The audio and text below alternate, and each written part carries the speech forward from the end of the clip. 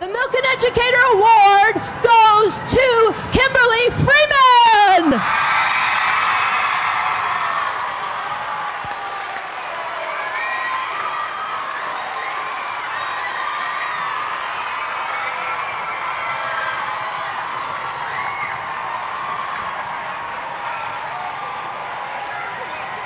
Nice to meet you.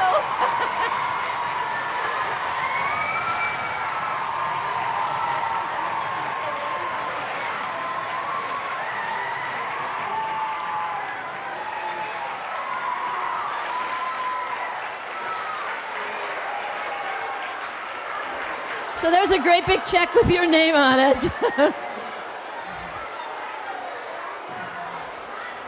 so, Miss Freeman, she walked up and said, It's nice to meet you. I do have some questions that I really wanted to know. You have been known to say all students must learn. What does that mean to you, and how can schools and educators make that happen?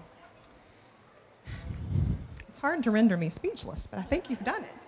Um, you know, I strongly believe that these guys in this room are the backbone of democracy, they're the backbone of our future, and that every single one of them matters, and that their learning matters, and that that means whatever it means. It means whatever it takes so that everybody can have the opportunity to feel successful and to feel the joy of experiencing mastery.